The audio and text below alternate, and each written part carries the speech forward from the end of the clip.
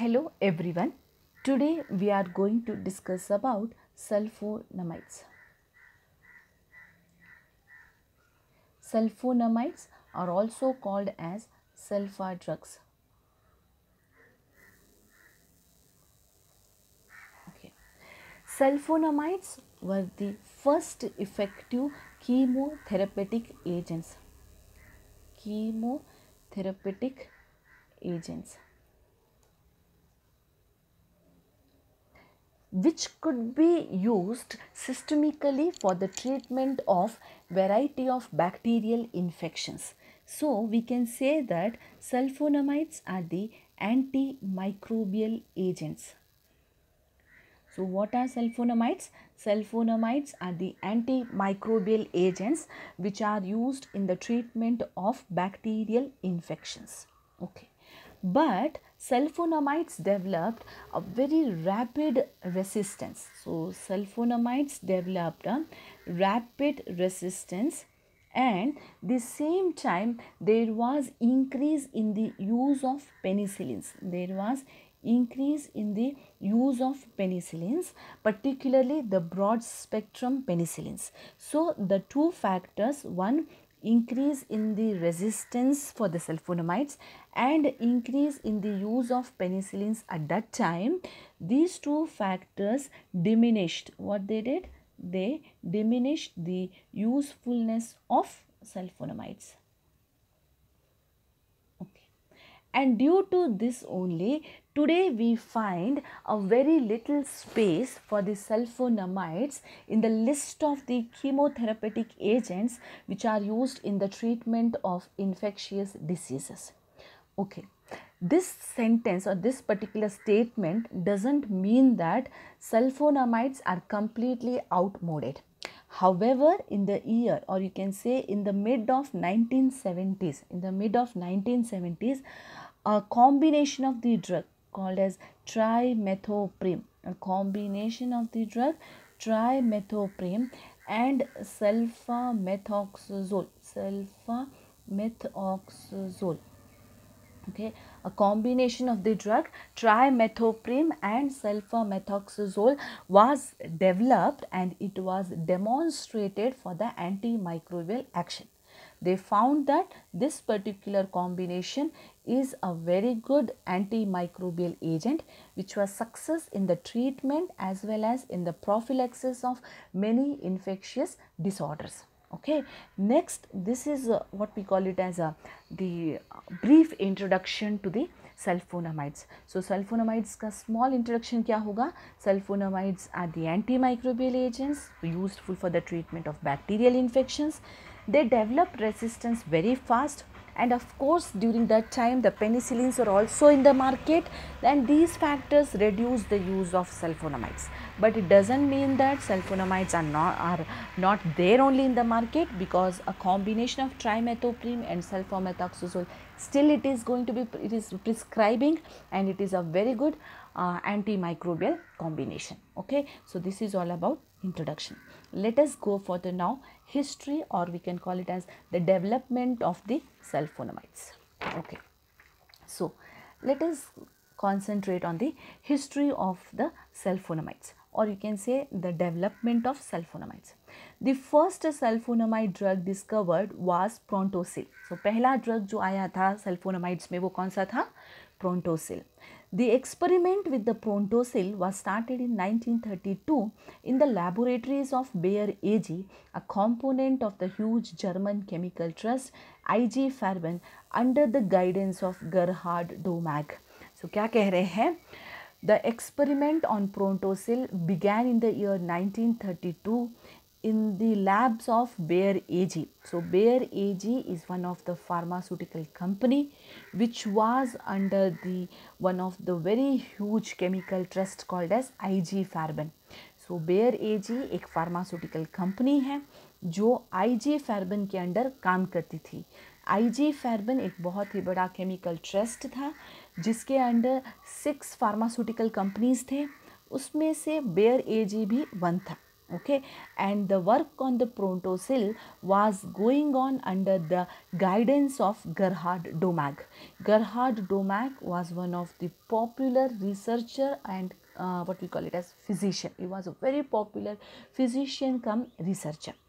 Gerhard Domagk and his team was studying the brilliant red dye. Later, he named it as Prontosil, and their studies found that so their studies was uh, was found that this prontosil is very good in the treatment of streptococcal infections in mice. So what they found that prontosil is a very good antimicrobial agent against streptococcal infections.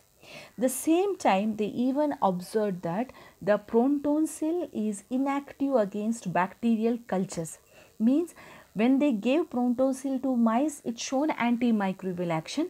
But when they tested its antimicrobial action outside, that is in back on bacterial cultures, it did not produce any kind of the uh, what we call antimicrobial action.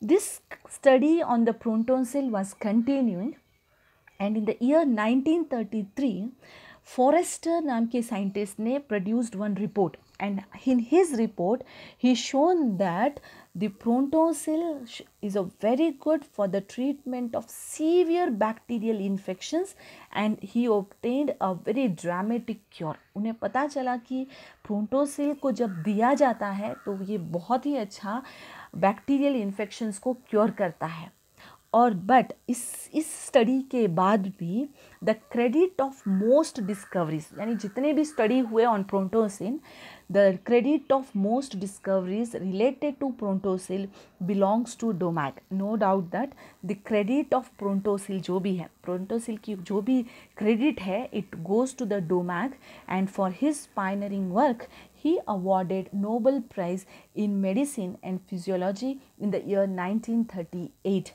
But he denied to take that award in that particular year, but he received the same in the year 1947 okay? So next let us see the structure of protosil okay? So the structure of protosil Prontosil के structure you can find that there is a SO2 NH2 group is there. There is one benzene ring is there and you can see that there is a azo linkage is there. N double bond N it is called as azo linkage and you can find even that there is a 1 2 diamino benzene ring is also present. So, this is the structure of prontosil. Already it was briefed that the prontosil is not having action on the bacterial cultures.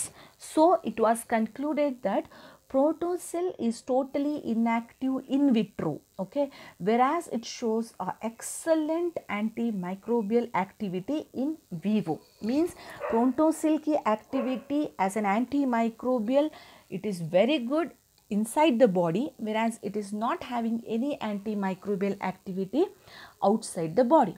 This property of Protosil only attracted much attention to many of the researchers com research companies and many researchers came forward to understand this particular property.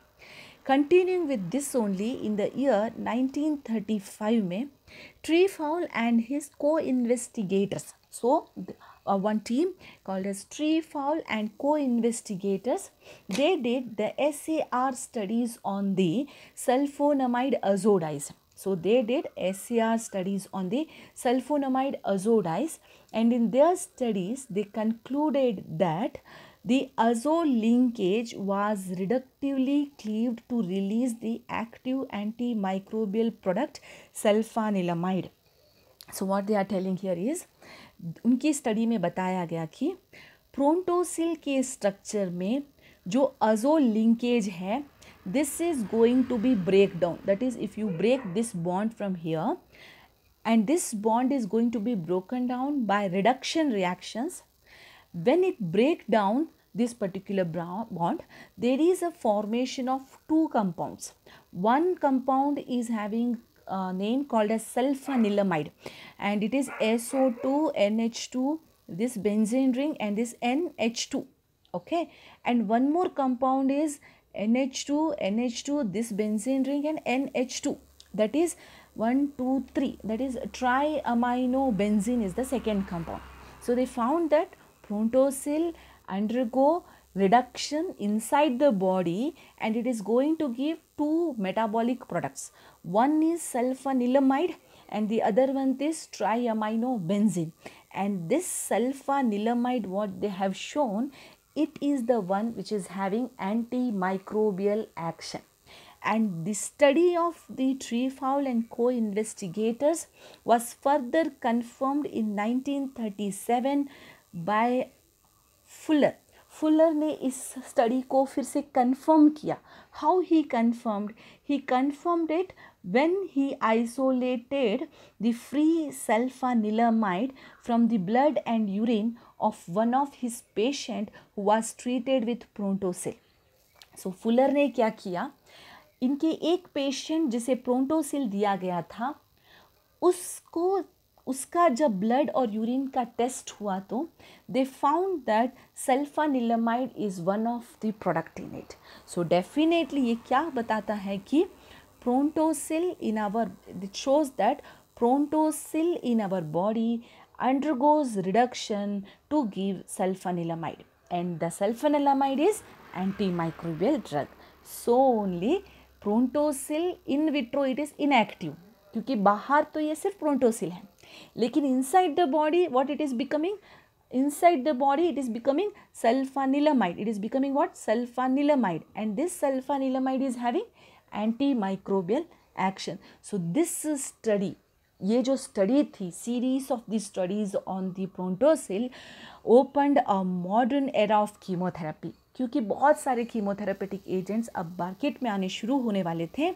इसके अलावा the concept of prodrug also was started after this only यहाँ पर पता चला कि prontosil is inactive as such but after metabolism prontosil is inactive as such but after metabolism it is going to get active drug and that is called as prodrug so the concept of prodrug was also started after this studies only इसी को continue कर कर in the year 1948 में sulphonamides से related 4500 compounds के को synthesize किया गया almost 4500 compounds were synthesized and out of that only 12 compounds, only two dozens of compounds have been used in clinical practice so बाकी सब कंपाउंड्स को मार्केट में नहीं लाया गया। हो सकता है उनकी प्रॉपर्टी कहीं कमी होगी, हो सकता है उनके कुछ टॉक्सिसिटी प्रोफाइल्स होंगे। सो दिस इज़ ऑल कि ये किस प्रकार से सल्फोनोमाइड्स बने। आफ्टर दिस फोर्टीज़ में लेट फोर्टीज़ में ही we came to know that sulfonamides के भी कुछ टॉक्सिसिटी प्रॉब्लम्स थे। उसके अलावा पेंसिलिन्स वर देयर सो उन्होंने ज़्यादा मार्केट को डोमिनेट किया। इन सब रीजंस की वजह से sulfonamides definitely we have what we call few numbers in the market but it, cannot say that we do not have at all. Yes, the combination of trimethoprim plus sulfamethoxazole still it is there and it is prescribed. And we have uh, few of the sulfonamides which are used in the treatment of uh, some bacterial infections. Okay? So this is all about the history and development of the sulfonamides